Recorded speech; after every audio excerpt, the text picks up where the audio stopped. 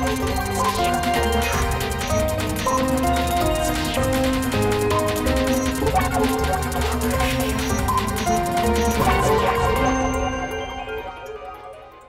E nós vamos agora a outras notícias do governo federal em mais uma edição do Repórter NBR. A atividade do comércio cresceu 2% em fevereiro, de acordo com o Serasa Experian, um dos principais serviços de proteção de crédito do país. Segundo a pesquisa, o aumento chegou a 7% em comparação com o mesmo mês do ano passado.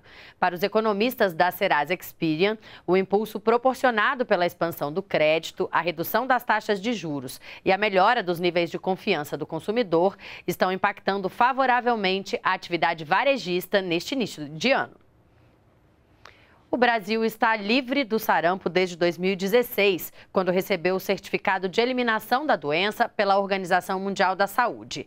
Para manter o país longe do sarampo, o governo federal lançou uma campanha de vacinação em Roraima.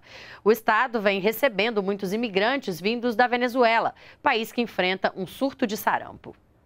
Atenção para você que mora ou está em Roraima.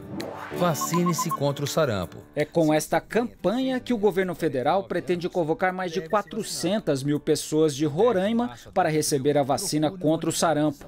São brasileiros e imigrantes venezuelanos que podem ser vacinados a partir do próximo sábado até 10 de abril nos postos de saúde do estado. O Brasil está livre do sarampo desde 2016 mas agora foram confirmados seis casos da doença, todos entre imigrantes venezuelanos, e o Ministério da Saúde tem adotado medidas para evitar que o vírus se espalhe.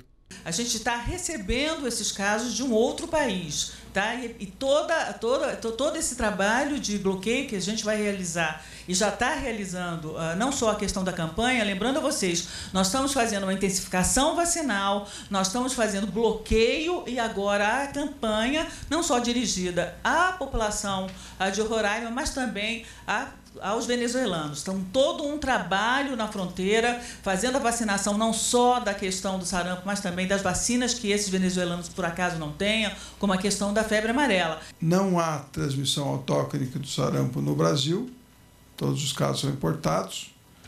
Nós temos também o Ministério da Saúde acompanhando a situação da migração dos venezuelanos.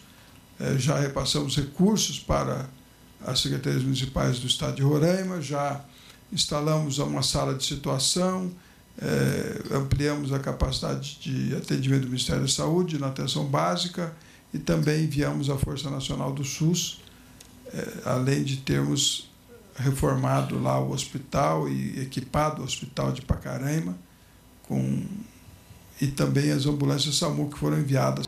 O ministro da Saúde também falou sobre febre amarela. Segundo ele, do dia 1 de julho do ano passado até 28 de fevereiro, foram registrados 723 casos da doença, todo silvestre, ou seja, em áreas fora dos grandes centros urbanos.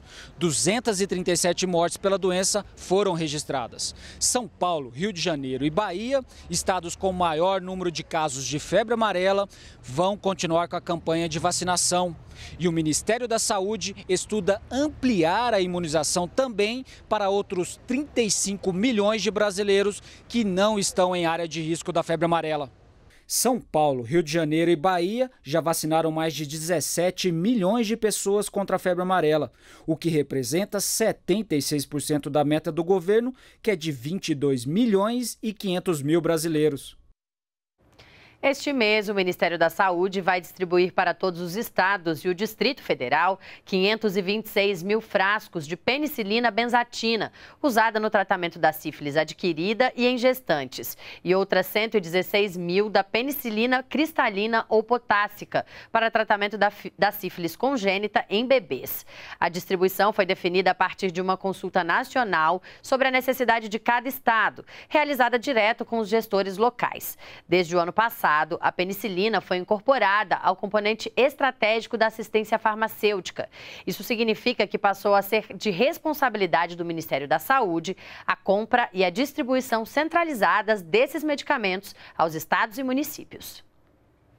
Secretarias, escolas e professores de todo o país já estão se reunindo para elaborar o currículo escolar do próximo ano, que vai levar em consideração a Base Nacional Comum Curricular da Educação Infantil e do Ensino Fundamental.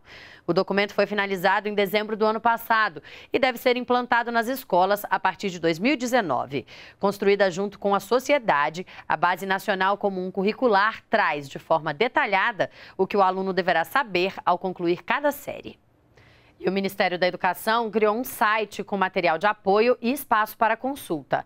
É o www.basenacionalcomum.mec.gov.br.